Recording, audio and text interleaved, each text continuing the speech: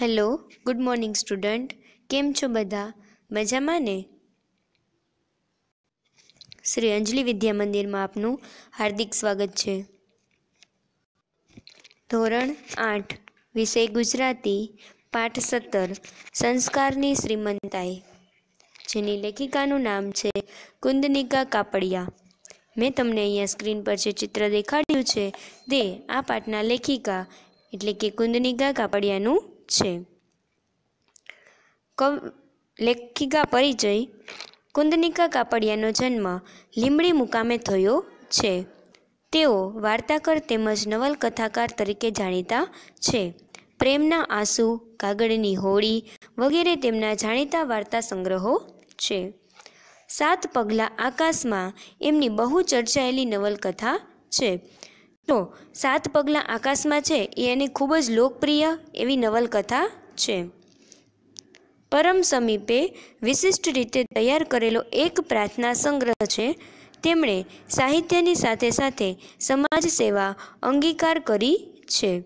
હાલ તેઓ વલસાડ નજીક આવેલા નદી ગ્રામમાં સ્થાયી થઈ સાહિત્ય સર્જન કરી રહ્યા છે.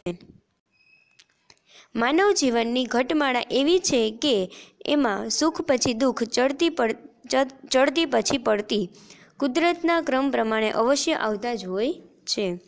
એવા સમયે જરા પણ વિચલિત થયા વગર સ્વસ્થતા જાળવી રાખી આવી પડેલી પરિસ્થિતિઓનો ખરા દિલથી સ્વીકાર કરવો એ જ સાચા સંસ્કાર છે. એમાં જ સંસ્કારની શ્રીમંતાઈ રહેલી છે. એક એવો સમય હતો જ્યારે શેઠ જગમોહનદાસ તેનું તેમનું કુટુંબ શ્રીમંતાઈમાં ઝૂલતું હતું.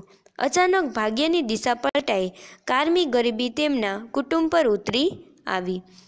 ત્યારે પણ કુટુંબનો એક એક સભ્ય અબાલ વૃદ્ધ સૌ કોઈ સ્થિતિનો વાંક કાઢવાને બદલે કે નિરાશ થવાને બદલે પોતાના ભાગે આવતું કર્તવ્ય બજાવ્યાનું અને એકમેકને મદદરૂપ થવાનું ચાલુ રાખે છે.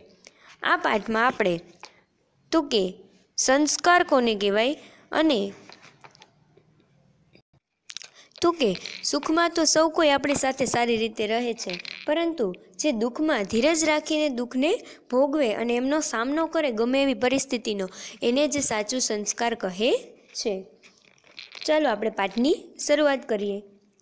જગમોહનદાસ એટલા શ્રીમંત હતા કે તેમના વર્તુળમાં તે રાજા નામથી પણ સંબોધાતા હતા. લક્ષ્મી દેવીએ બે હાથે એમની આરતી ઉતારી હશે. એટલે કે જગમોહનદાસ છે એ એટલા ધનવાન હતા અને એમના જે વિસ્તાર છે તેમાં તે શું તો કે રાજા તરીકે ઓળખાતા હતા. અને એવું લાગતું હતું કે લક્ષ્મી દેવી છે એને તો કે પોતાની બે બંને હાથે એને એની આરતી ઉતારી હશે. એટલે એનું કહેવાનો મતલબ શું તો કે એટલી એનું પાસે ધન દોલત હતી. સાઠ લાખ રૂપિયાના ખર્ચે દરિયા કિનારે બંધાવેલો તેમનો આસમાની આનંદ મહેલ રાત્રે દીવાના જળહળાટથી અલકાપુરીની યાદ આપી જતો. તો કે સાઠ લાખ રૂપિયાના ખર્ચે દરિયા કિનારે એને એક મહેલ બંધાવ્યો હતો અને રાતના સમયે તો કે દીવા જળહળી ઉઠતા હતા. તે અલકાપુરીની યાદ અપાવી જતો હતો. તેમને ઘર છ મોટર ગાડીઓ હતી અને નોકર ચાકરનો તો પાર નહીં.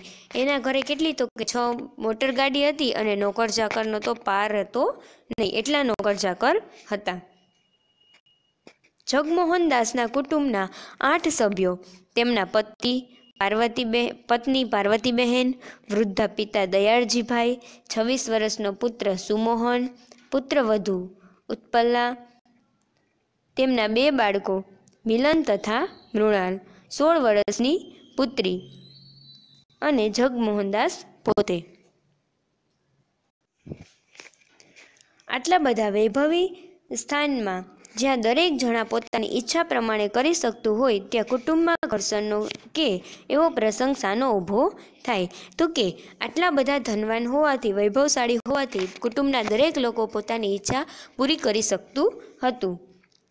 એટલે કુટુંબમાં ક્યારેય મન મોઢાવ આવતો ન હતો. બધા જ લોકો ખૂબ સુખી હતા.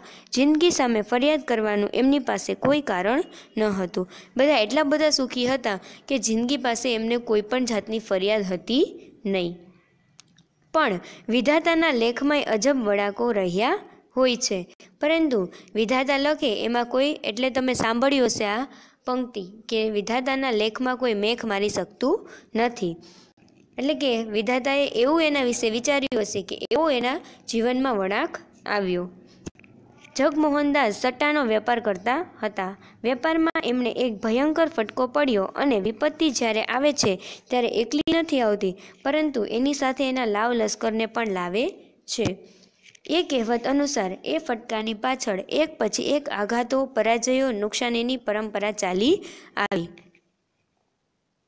શું કહે છે તો કે એકવાર જ્યારે મુશ્કેલી આવે ત્યારે એ એક વખત નથી, એકલી નથી આવતી, પરંતુ બધી એક સાથે જ આવે છે. અને આ કહેવત પ્રમાણે તો કે એકવાર ફટકો લાગ્યો, પછી જગમોહનદાસને વારંવાર ફટકો લાગવા લાગ્યો.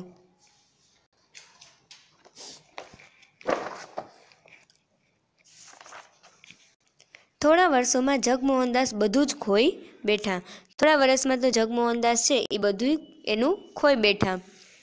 એ ન માની શકાય એવી વાત હતી. આટલી બધી સંપત્તિ, આટલો વૈભવ, આટલા માન સ્થાન બધું જ પાણીમાં રેલાની માફક આંખ ઉઘડતા ન ઉઘડતામાં વહી ગયું. એટલે કે એવી વાત માની શકાય એમ જ નથી, કારણ કે જગમોહનદાસ હતા એ એટલા ધનવાન હતા. એટલે આટલી બધી સંપત્તિ, આટલો વૈભવ, એનું માન સ્થાન અને એ બધું ક્યાં તો કે પાણીના રેલાની માફક વહી ગયું. નુકસાન એવડું મોટું થયું કે શેઠને પોતાનો બંગલો સુદ્ધા વેચી નાખવો પડ્યો. મોટર ગાડીને ઘરની બીજી કિંમતી વસ્તુઓ પણ એ જ પહેલેથી જ વેચી નાખેલી હતી. શું કહે છે? તો કે એટલું બધું એને નુકસાન થયું કે એને એનો બંગલો પણ વેચી નાખવો પડ્યો અને મોટર ગાડી ને બીજી ઘરની કિંમતી વસ્તુઓ તો એને પહેલાં જ વેચી નાખી હતી. અતિશયોક્તિ વગર ખરેખર સોનાના પારણામાં જેમ બાળકો ઝૂલ્યા હતા, એ જગમોહનદાસ પચાસ રૂપિયા ભાડું આપીને એક નાનકડા મકાનમાં રહેવા લાગ્યા. હવે, તો કે શું? તો કે પોતાના બાળકો છે એ ક્યાં? તો કે સોનાના પારણોમાં ઝૂલ્યા હતા. એ જગમોહનદાસ અત્યારે ખાલી પચાસ રૂપિયા ભાડું આપી અને એક નાનકડા મકાનમાં રહે છે. શ્રીમંતાઈ માણસના સ્વભાવને એક પ્રકારની અકળતાથી સજવી રાખે છે. શ્રીમંતાઈ છે એ માણસને, તો કે જે લોકો ધનવાન હોય, એમાં થોડીક અકળ હોય, એટલે કે એને થોડોક અભિમાન હોય, એ માણસને છે એ સજાવી રાખે છે. વૈભવનું ઊંચું આસન એના સ્વભાવને અમીરી બેપરવાઈનો અંજળો પહેરાવે છે. હવે શું કહે છે કે પોતે આટલા વૈભવ સુખમાં ઉછરાયેલા છે, તો હવે એને આ બધું ન ગમે, એટલે કે જે ધનવાન લોકો છે, એ બધાને અભિમાન હોય કે અમે આવું વસ્તુ કઈ રીતે કરી શકીએ? પણ માણસની સામે જ્યારે આફતો આવી પડે ત્યારે પાઈ પાઈના હિસાબો ઉપર દિવસો ખેંચવાના હોય છે.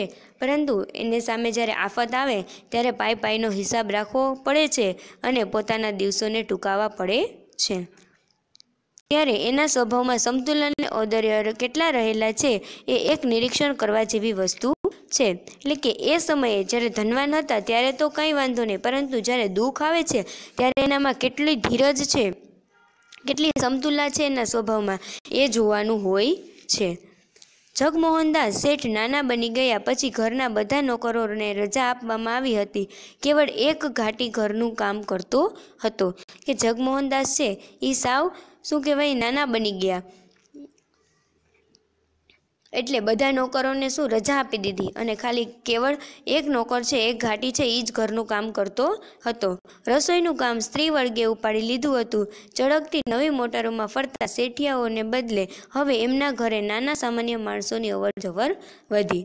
શું કહે છે કે ઘરનું કામ બધી સ્ત્રીઓએ ઉપાડી લીધું હતું અને એની ઘરે તો કે ચળકતી નવી નવી મોટરોમાં શેઠિયાઓ એની ઘરે આવતા જતા હતા. હવે તો શું? તો કે એની નાના અમથા ઘરમાં નાના સામાન્ય એવા માણસોની અવરજવર વધતી ગઈ. જગમોહનદાસની પુત્રી પ્રીતિ મારી મિત્ર હતી. જગમોહનદાસની પુત્રી છે એ મારી મિત્ર હતી. હું એ લોકોને ઘણા સમયથી ઓળખતી, પણ મારું એમને ત્યાં જવા આવવાનું ઓછું રહેતું હતું. પણ એમની બદલાયેલી સ્થિતિ પછી હું એમને ત્યાં અવારનવાર જતી અને પ્રીતિ અને એની બાને કામમાં મદદ કરતી હતી. શું કહે છે તો કે ઘણા સમયથી અમે એકબીજાને ઓળખતા ખરી, પરંતુ ત્યાં અમારા એના ઘરે જવા આવવાનું ઓછું હતું. પરંતુ જ્યારથી એની આવી સ્થિતિ બદલાઈ ગઈ હતી, ત્યારથી હું એની ઘરે અવારનવાર જતી હતી અને બાને તથા પ્રીતિને એના કામમાં મદદ કરતી હતી. એ લોકો કદી કામ ન નહોતું કર્યું. એટલે અગવડો તો પારવાર ઊભી થતી, પણ તેઓ પણ નિભાવી લેતા. એ લોકોએ કોઈ દિવસ કાંઈ કામ કર્યું જ હતું નહીં. એટલા માટે એને થોડીક અગવડ પડતી હતી. એને થોડીક મુશ્કેલી પડતી હતી. પરંતુ એવી મુશ્કેલીમાં પણ તે પોતે પોતાની રીતે કામ કરી લેતા. એક દિવસ બપોરે હું તેમને ત્યાં ગઈ. ત્યારે બહારના વરંડામાં દયાળજીભાઈ બેઠા બેઠા ચશ્મા ચડાવીને છાપું વાંચતા હતા. એક દિવસે કે હું ત્યાં એના ઘરે ગઈ ત્યારે શું તો કે બહારના બહારની સાઈડ. દયાળજીભાઈ કોણ હતું તો કે જગમોહનદાસના પિતા. ચશ્મા ચડાવીને છાપું વાંચતા હતા. પાસે જઈને મેં કહ્યું, નમસ્કાર દાદા, કેમ છો? તબિયત તો સારી છે ને? એટલે કે હું એની પાસે ગઈ અને પછી ત્યાં જઈને મેં એને પૂછ્યું કે, દાદા, નમસ્કાર, તમને કેમ છે? સારું છે ને? તમારી તબિયત પાણી સારા છે ને? ચાકુ ખસેડી ચશ્મા ઠીક કરી મારી સામે જોઈ દાદા મીઠું હસ્યા. ઘણા દિવસે આવી બેટા. પ્રીતિ કહેતી હતી કે, તું બહાર ગામ ગઈ છો, તો તબિયત તો સારી છે ને? એટલે કે છાપું આગું લઈ અને ચશ્મા એને સરખા કર્યા. પછી શું કીધું કે, તું ઘણા દિવસે આવી બેટા? કે પ્રીતિ મને એમ કહેતી હતી કે તું બહાર ગામ ગઈ છો, તો તારી તબિયત તો સારી છે ને? હું તો દાદા વળી કયે દિવસે મજા ન, નથી હોતી. પણ તમે કેમ છો? એ કહો ને. એ કે, હું તો કાંઈ નહીં, તો હું તો મજામાં જ હોય, હોઉં છું. કયો દિવસ એવો હોય કે હું જ્યારે મજામાં ન હોય, હું તો ઠીક છું. તમે કહો ને કે તમે કેમ છો? દાદાએ એક હળવો નિશાસો મૂકીને કહ્યું, મારે શું દુઃખ છે, દીકરી? ત્યારે બેઠો બેઠો ખાતો હતો અને આજે બેઠો બેઠો રોટલો ખાઉં છું.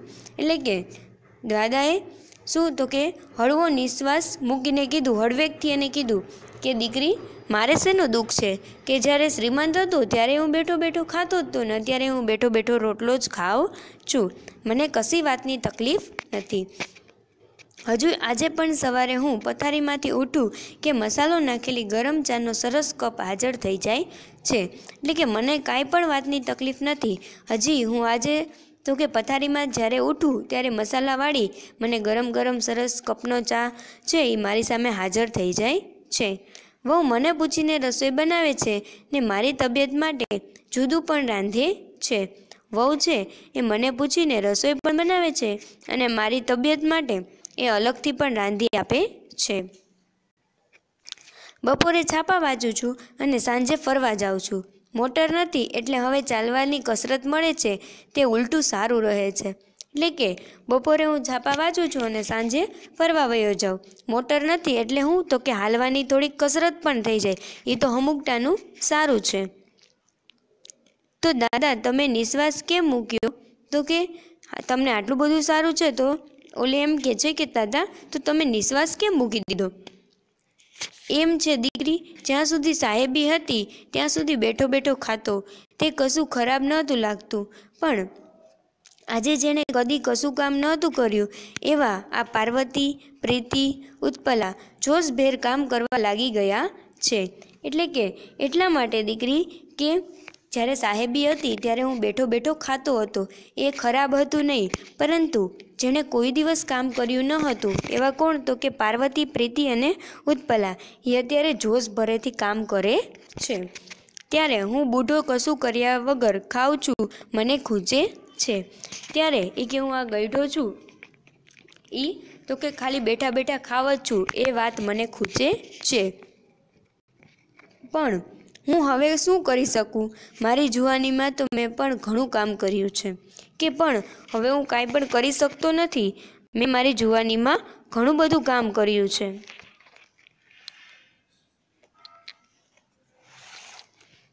પણ અત્યારે આ અવસ્થા મને કોણ કામ આપે? બસ આ જ વાતનું દુઃખ રહ્યા કરે છે.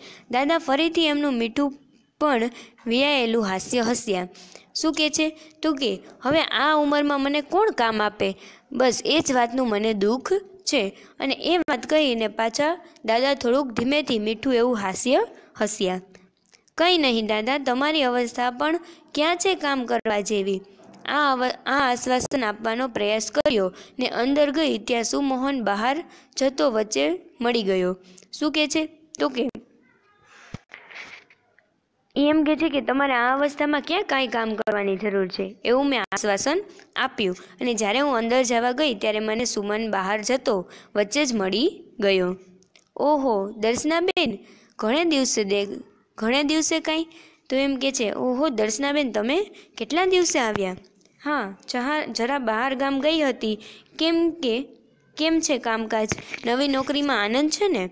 શું કહે છે? તો કે હા, હું થોડોક બહાર ગામ ગયો હતો. બહાર ગામ ગઈ હતી અને તમારું કામકાજ કેવું ચાલે છે? નવી નોકરીમાં આનંદ મળે છે ને? આનંદ તો છે દર્શનાબહેન છેક અમેરિકા જઈને ભણી આવ્યો. એ નકામું તો ન જ જાય ને? તે કે, હા એ કે. દર્શનાબેન મને તો આનંદ છે. છેક હું અમેરિકા ભણી આવ્યો છું. એ કાંઈ થોડું નકામું જાય. પણ એક વાત છે, એના મોં પર વિષાદની રેખાઓ દોરાઈ તો કે એક વાત હતી કે એના મોઢા ઉપર શું તો કે દુઃખભરી રેખા એને દોરાયેલી હતી. એક વાતનું મને ખૂબ દુઃખ થાય છે. આ પ્રીતિ ઉપર મારી બહુ જ આશા હતી. એ શું કહે છે, તો કે મને એક વાતનું એવું દુઃખ થાય છે કે પ્રીતિ ઉપર મને ખૂબ જ આશા હતી. એને ડૉક્ટર બનાવી અમેરિકા ભણવા મોકલવી હતી. તમે તો જાણો છો, એ ભણવામાં કેટલી હોશિયાર છે. મારા કરતાંય ક્યાંય વધારે. મને એમ થતું હતું કે મારી નાનકડી વહાલી બેનને હું ઊંચામાં ઊંચી શક્ય હશે એટલી કેળવણી આપીશ. શું કહે છે? તો કે એને મારે ભણવા માટે અમેરિકા મોકલવી છે, ડૉક્ટર બનાવી છે અને એ ભણવામાં પણ ખૂબ જ હોશિયાર છે. મારા કરતાં પણ ક્યાંય વધારે છે. એને તો કે મને એમ હતું કે મારી નાનકડી વહાલી બેન છે, એને મેં ઊંચામાં ઊંચી શક્ય હોય તેટલી કેળવણી હું આપીશ. પણ હવે એ સ્થિતિ રહી નથી. મને થાય છે કે હું એનાથી મોટો એટલે મને એ સગવડ મળી ગઈ. મને એવું થાય છે કે હું એવો એનાથી મોટો હતો એટલા માટે મને અત્યારે હવે એ સગવડ મળી ગઈ. હવે સ્થિતિ બદલે, એમાં સહન તો એણે જ કરવાનું ને, કે હવે અમારી ઘરની પરિસ્થિતિ બદલાઈ ગઈ છે. તો હવે સહન કોને કરવાનું? મારી બેનને કરવાનું. સહન તો સામાન્ય રીતે મોટા કરે, એ મારાથી નાની, તો પણ એનો અવાજ ભીનો થઈ ગયો. એટલે કે, સહન તો હંમેશા કોણ? તો કે મોટા વ્યક્તિઓ કરે. એ તો મારાથી નાની છે. એમ કહેતાં કહેતાં એનો અવાજ ભીનો થઈ ગયો. સહન તો સામાન્ય રીતે મોટા કરે. એના હૃદયમાં રહેલી આ પ્રેમ ભરવાણી, પ્રેમ સભરવાણી જોઈને મારા દિલમાં પણ કરુણા ઉભરાઈ આવી. હું બોલી, કાંઈ નહીં સુમોહનભાઈ, સંયોગથી પરાજિત ન થાય અને મુશ્કેલી સામે ઝૂકી જવાને બદલે લડત આપે એનું નામ જ જીવન. શું કહે છે કે એની આવી બધી વાણી, એના શબ્દ સાંભળી અને હું પણ થોડીક હતાશ થઈ ગઈ. મારા દિલમાં પણ કરુણા ઉભરાઈ ગઈ અને હું બોલી,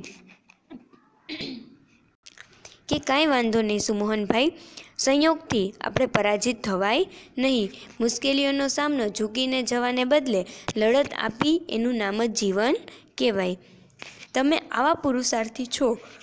પછી પ્રીતિને શાની ચિંતા? તો કે તમે આટલા બધા પુરુષાર્થી છો.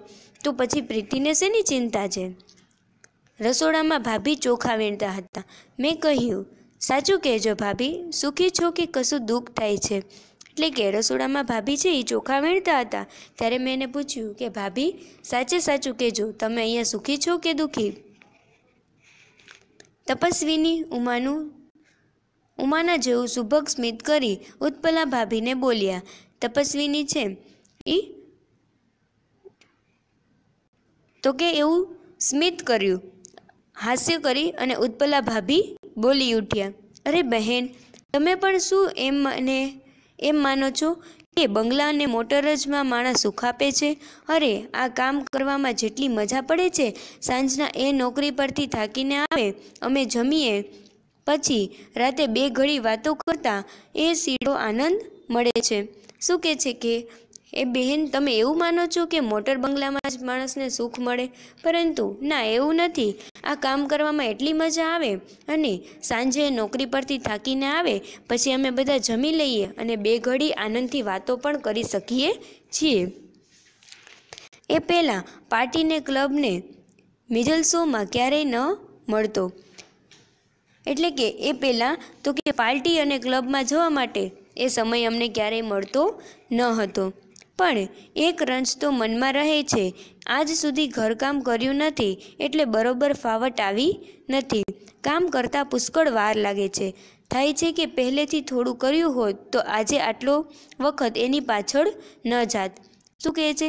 હા, પણ એ વાતનું એક મનમાં દુઃખ છે કે પહેલેથી કોઈ દિવસ ઘરકામ કર્યું હતું નહીં. એટલે માટે બરોબર અમને ફાવટ છે નહીં. જો અમે એટલે તો આટલી બધી વાર લાગે છે. જો એવું થાય છે કે પહેલેથી થોડુંક કામ કર્યું હોત તો આજે આટલો બધો સમય જાત નહીં. અને આજે મને વખત મળે તો હું પણ થોડું કમાઈ એમને બોજનો હલકો કરી શકત ને? તો કે, અને થોડુંક મને વખત મળત કામમાંથી. તો શું કરત તો કે, થોડું ઘણું કમાઈને એનો ભાર ઓછો કરી શકત.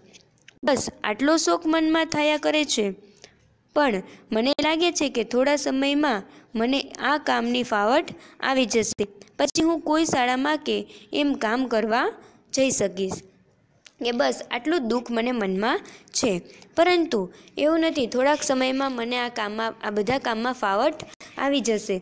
એટલા માટે પછી હું શું કરીશ તો કે શાળામાં કોઈ પણ જગ્યાએ કામે લાગી જઈશ. પાર્વતી બહેન માળા ફેરવીને હમણાં જ ઊભા થયા હતા. મને જોતા બોલ્યા, આવ દર્શના, તું આવે છે તો ગમે છે. હું તો હવે એટલી એકલી પડી ગઈ છું કે પ્રીતિ કોલેજમાં જઈને ઉત્પલા તો ઘરના કામમાં મને અડવા સુદ્ધા નથી દેતી. શું કહે છે? કે પાર્વતીબેન એમ કહે છે કે માળા ફેરવતા ફેરવતા હમણાં જ ઊભા થયા. અને એને દર્શનાને જોઈ અને બોલી કે આવ દર્શના, તું અહીંયા આવે છે એટલે મને ગમે છે. હું તો સાવ એકલી પડી જાઉં છું. તો કે શું પ્રીતિ કોલેજે વહી જાય છે? અને ઉત્પલા છે એ તો પોતાના ઘરના કામમાં મને કાંઈ પણ વસ્તુ અડવા દેતી નથી. એટલે મને કાંઈ પણ કામ કરવા દેતી નથી. મિલન મૃણાલને તૈયાર કરું તો પણ કહે, ના બા, અમે બધું કરી લઈશું. તમે રહેવા દો પછી આખો દિવસ શું કરશું? એટલે શું કહે છે, મિલન અને મૃણાલને તૈયાર કરું તો પણ એ શું કે, તો કે ના બા, હું બધું કરી લઈશ. તમે રહેવા દો પછી આખો દિવસ શું કરવાનું અમારે? એ હસી કેવા નસીબદાર સાસુ છો? આવી વહુ કંઈ સહેલાઈથી નથી મળતી? હસીને એમ બોલે છે કે તમે ખૂબ જ નસીબદાર સાસુ છો. આવી વહુ કંઈ સહેલાઈથી મળે નહીં. એ મારી નજીક આવી ધીમે સ્વરે બોલી, કે તું શું માને છે કે એ મારું નસીબ છે? એ તો છે દાદાજીના પુણ્યનું બળ. મને ખબર છે ને, દાદાજીના દિલમાં ભગવાન બેઠા છે. જિંદગી આખી કદી ખોટું કામ એમણે કરેલ નથી. હવે શું કહે છે? તો કે ત્યાં આવીને ધીમા સ્વરે એમ બોલ્યા કે તું એ શું માને છે? તો કે એ મારું નસીબ છે. પરંતુ એ શું છે? તો કે બધું દાદાજીના પુણ્યનું બળ છે. મને ખબર છે કે દાદાજીના દિલમાં ભગવાન બેઠા છે. કારણ કે આખી જિંદગી ક્યારેય એને ખોટું કાર્ય કર્યું નથી.